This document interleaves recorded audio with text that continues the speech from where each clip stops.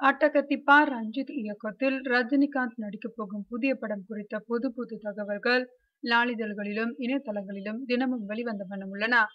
இப்படத்தில் அட்டகத்தி தினேஷ் கலையரசன் ஆகியோர் முக்கிய கதாபாத்திரத்தில் நடிப்பது உறுதியாகியுள்ளது. மேலும் கதாநாயகியாக ராதிகா ஆப்தே நடிப்பதாக வந்த செய்தி முதலில் மறுக்கப்பட்டு தற்போது அவரே இப்படத்தில் நடிப்பதாக உறுதி செய்யப்பட்டுள்ளது.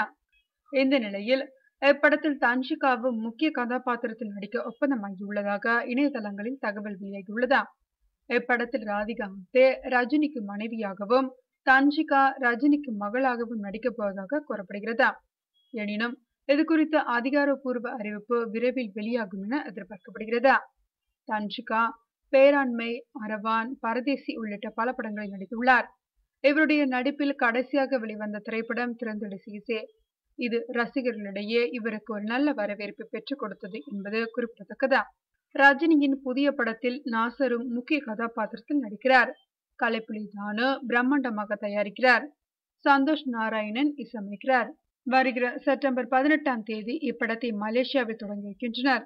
இதற்கான ஆரம்ப கட்ட பணிகளில் படக்குழுவினர் தீவிரமாக ஈடுபட்டுள்ளனர்.